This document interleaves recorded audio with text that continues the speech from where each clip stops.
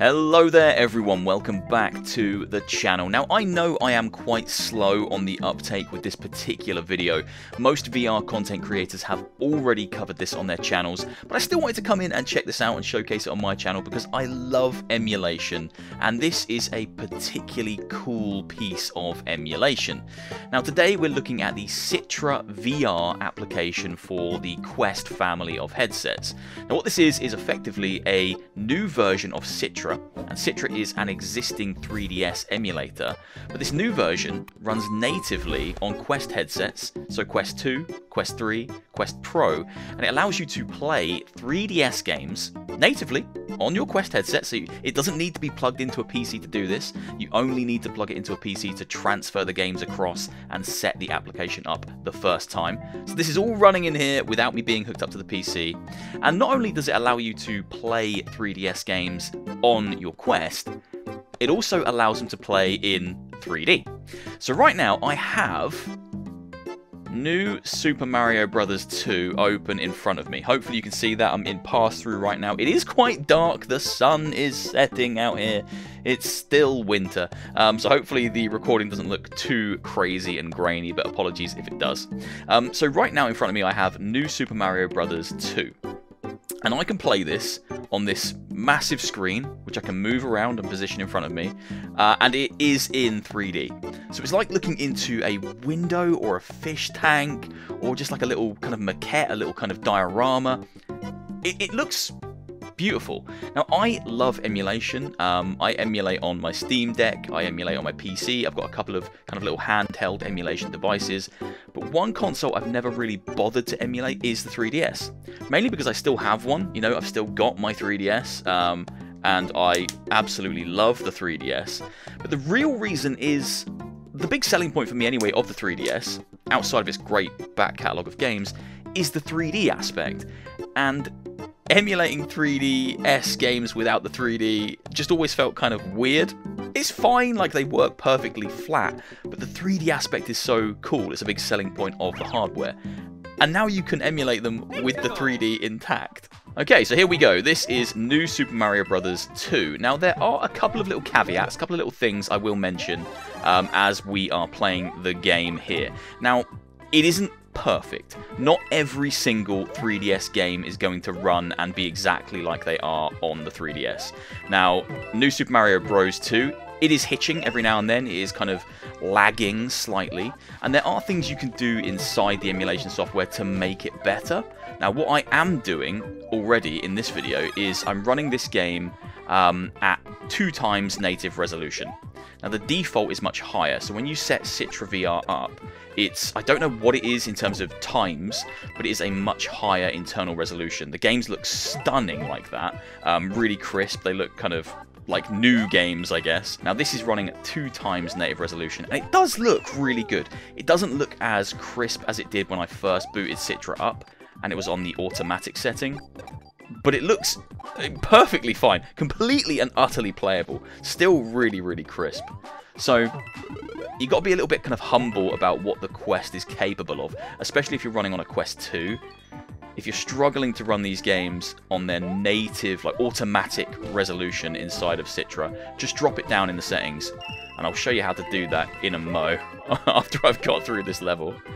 But yeah, it looks incredible. Like it's it is like looking into a window. So kind of Mario and all the kind of the floor he's walking on, that's like the foreground, and then everything else is is is going in. So you're not going to get that on a YouTube video like this. You're not going to see why I think it's so cool. Um, but hopefully, me explaining it makes sense. It is like looking into a fish tank or a window. Really, really smart. Um, just another great way to play Nintendo games on a non-Nintendo console. Oh my god, my head is a brick! What does this mean? I don't think I ever played this Mario game, but he is spewing coins out of his butthole right now. I mean, I'm just, I don't know what's happening, but it's great. I'm just going to keep bouncing around in here. That was cool. They're clapping for me now. I'm not sure why. Um, you'll also notice that I am playing with my touch controllers. So automatically, here we go. Oh, I should have done that, because that's how I get over there. Automatically, the buttons are already mapped to my touch controllers. Now, I will say, and I'll show this, I'll demonstrate it with a different game, it isn't always the best mapping. You can use an Xbox controller or kind of a third-party Bluetooth controller to play these games if you prefer, and you can map the buttons yourself. But if you do use the touch controllers, it's perfectly fine for most games, but for some games, the default mapping is a little bit rough. Now, I did mention as well you can move the screens, so I can move it up, I can move it right above my head, I could be like, put it on the ceiling, and play. I don't know why I'd do that, my neck immediately hurts. Um, but I can play Mario in 3D on my ceiling now. Oh, if I don't, you know, if I don't want to have a, a, a, nice neck for later on in my life, this is how I could do it. Oh my god, I can, I can immediately feel that strain. That's not nice. Let's bring it back down. Um, so you can position it wherever you like, and you can shrink the screen as well. So right now, it's it's quite big, but I can have a much smaller one. I can have it a tiny one. Look at that. I don't know if that helps performance at all. I think I prefer the bigger screen, but you can make it really tiny like that, or much, much bigger. That's the biggest that it will go currently. I don't think it does help performance making it um, smaller. It just makes it so you can't see it properly. Really, really smart. Right, let's jump over to a different game, and I'll show you what I mean about the button mapping. Um, honestly, perfect for most games, but for a few that I've encountered so far, it can be a little bit problematic. Okay, so this is what Citra VR looks like when you load into it on your Quest, and I've got some ROMs already loaded into the application as well. But effectively, this is what you'll see when you load up Citra for the first time, um, minus the games I already have in here. Now, you can go into the settings panel here, and you can change things like graphics, like I alluded to. So right now, I have the internal resolution set to two times. Now I don't know what default actually goes to. Um, it goes to auto. I guess it changes on a case by case, game by game basis. That definitely looks better. It, everything's kind of smoothed out. All the edges are much smoother. It's clearly a higher resolution but I was encountering some performance issues. So leaving it on two times for most games means that the performance is a little bit more consistent. But you can play around with this stuff, again, on a case-by-case basis. Now, another thing that can increase performance is this audio stretching option. This is on by default, but if you turn it off, you can increase the performance of your games. It might have an impact on the audio quality, though. If you've done any emulation in the past, I'm sure you'll know what audio stretching does. Um, a lot of emulation software, when you jump in and play a ROM of an old game, you'll hear the audio kind of lagging, hitching, stopping, freezing. This kind of combats that, but it does reduce performance. If you don't mind the audio being a little bit wonky, a little bit crazy, you can turn that off to gain back a little bit of performance. Right, let's load up another game and I'll show you what I mean by the button mapping not being perfect, not being ideal if you're using your touch controllers. I'm going to use LEGO Lord of the Rings as an example. Here we go, LEGO Lord of the Rings. Now again, this is in 3D, so the title card, the LEGO The Lord of the Rings, that's in 3D, so it sits in the forefront, and everything else kind of sits back, again, like looking into a window. Right, Battle of the Last Alliance. Let's load into this. That looks cool. The spinning one ring looks really cool, because that is very 3D. Okay, here we go. We're into some gameplay. Now, the LEGO games are a great example of why the button mapping on touch controllers isn't perfect in Citra VR, because currently I'm running around using my left touch controller, and if I want to attack, it's also the left touch controller. So you can't move and attack at the same time. I think it's Y that is attack. So right now I'm attacking, and now I'm moving. So I have to stop moving to fight the orcs, I noticed this with Donkey Kong. I was playing Donkey Kong Country, and his attacks are mapped again to X and Y, so on the left controller, but that's also the controller that will move Donkey Kong around. Now, in that instance, I would probably recommend setting up a Bluetooth controller, like an Xbox controller or something, um, mapping the buttons to that and using that instead of the touch controllers. This is nice, this is convenient, you know, you can load straight into your Quest 2, Quest 3, whatever it is you have, and play games with the touch controllers, and that is amazing, but it isn't perfect. So it is completely playable out of the box without tinkering with anything, but if you want the best results, you are going to have to tinker with something. I just got shot in the head and died. That really sucked. I don't remember that happening in the movies. Um, so yeah, currently, Lord of the Rings, Donkey Kong, games like that, moving and attacking is bound to the same touch controller. I did try to change the mappings of the touch controllers, but I didn't seem to be able to. Um, again, that's where using a Xbox controller or a Bluetooth controller is probably going to be the best course of action for you. You will have a better uh, experience. I've just blooming died again. I'm getting murdered constantly. Right, I need to play a different game. Now, not every single 3DS ROM that you can get your grubby little hands on will work. Um, some games perform better than others. There is a working list detailing which games run better on Citra uh, than others. It's a little bit like the Unreal Engine VR list, if you've seen that. Some will say they're working poorly, some will say okay, some will say perfectly, but don't expect every single game that you can get your hands on to run like a dream. I already know that Resident Evil The Mercenaries barely runs, the whole quest starts to slow down and lag. It isn't pretty. But things like Mario Kart 7 are surprising surprisingly good. Hell yeah, Mario Kart 7. Now, this is probably one of the best showcases for Citra VR currently.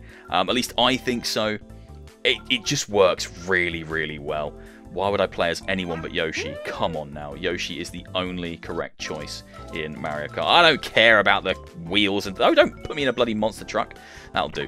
Um, yeah, this runs really, really well. Um, there are still instances of slowdown and hitching, um, it isn't completely perfect, but it is definitely one of the best. Look, it looks gorgeous as well. From a visual standpoint, this and Ocarina of Time, probably the two best visually appealing games to play in 3D in your Quest headset. First race, I'm on 150 cc's. Why did I put it on 150 cc's? That seems dumb. I didn't even get a boost start. Okay, so everything is mapped correctly here. So you got your drift, you can fire off your, your shells and stuff. And it just runs really, really well. Um, okay, I have to win this race.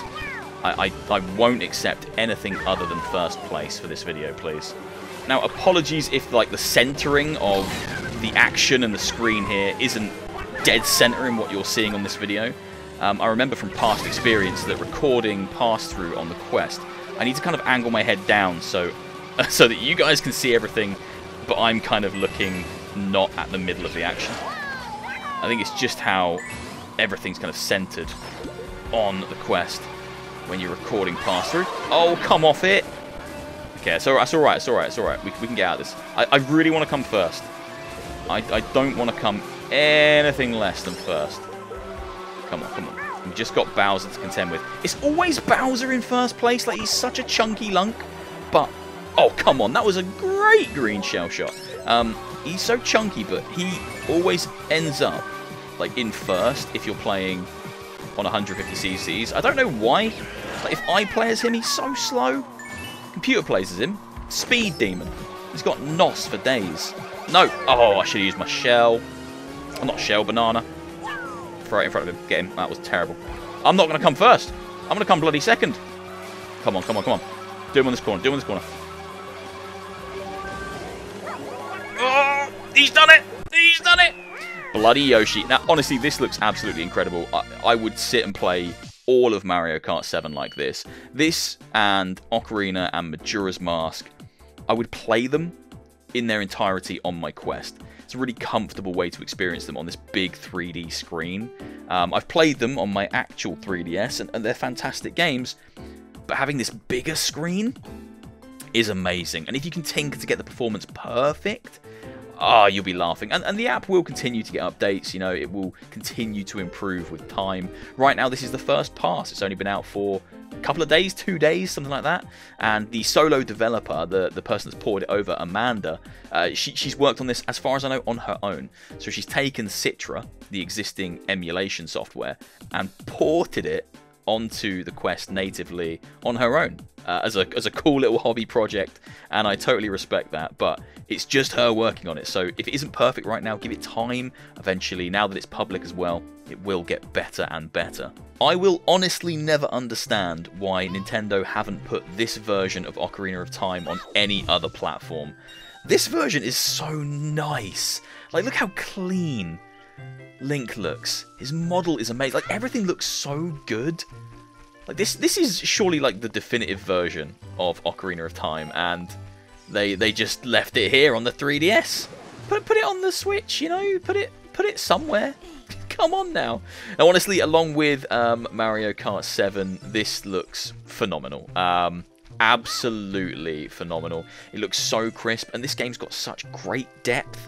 You know, it it, it really does look like just playing it on a massive 3D TV. The way it's all going, I can see right up to the little tunnel over there, and it's all got layers of depth to it. It doesn't look like foreground, background. It's continual depth, like looking into a tunnel. It's um, absolutely stunning. Now, the one thing I haven't mentioned at all is the touchscreen down here on the bottom. Now, you can't move this, whereas I can move that top screen wherever I want and I can resize it. The touchscreen you can't move. It is static, but you can touch it with your touch controller. So if I point at view, let's say, and click, I can go into first person, back, uh, gear.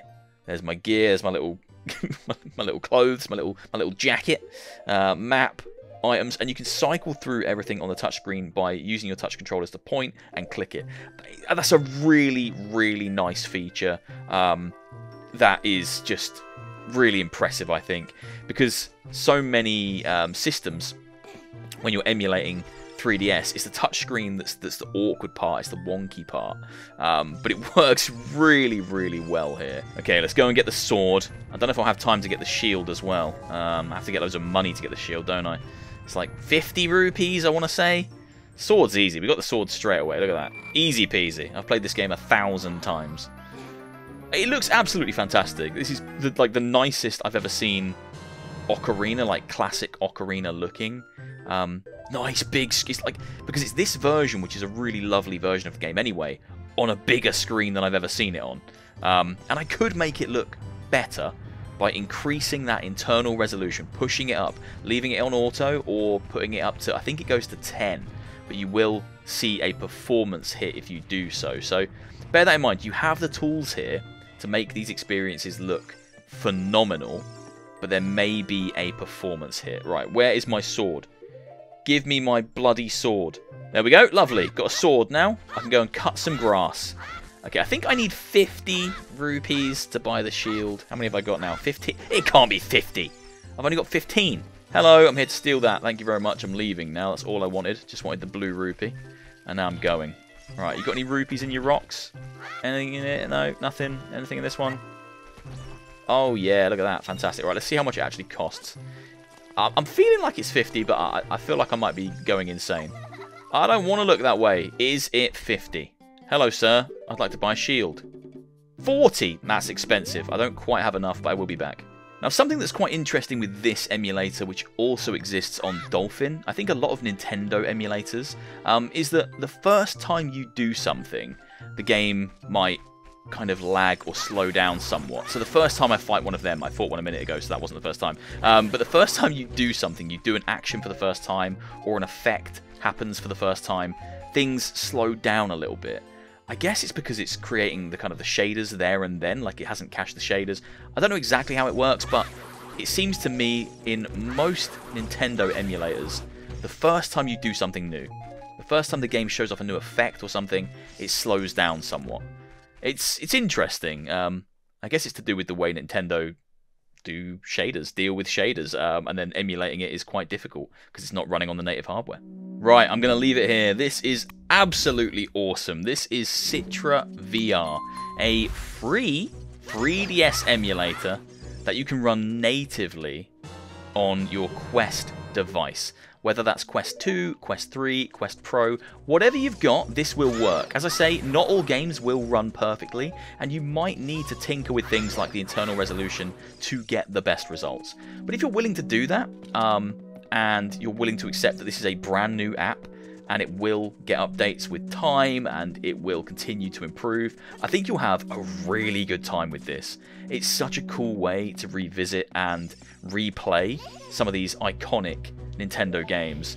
I mean, these 3DS games have never looked this good because I've never played them on a screen this size, and I'm retaining the 3D aspect that made them so special.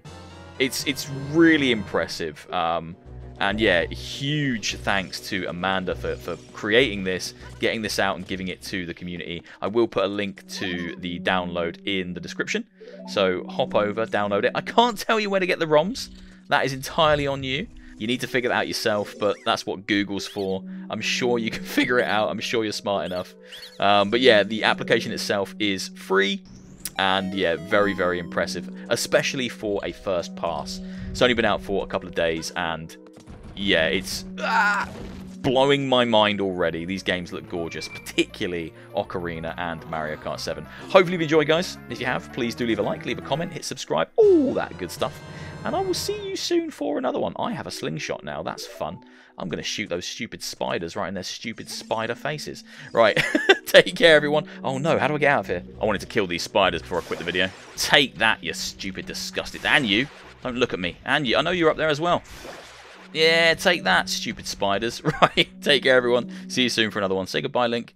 There he is. Look, looking absolutely amazing. Ah, incredible. Citra VR. Download it today.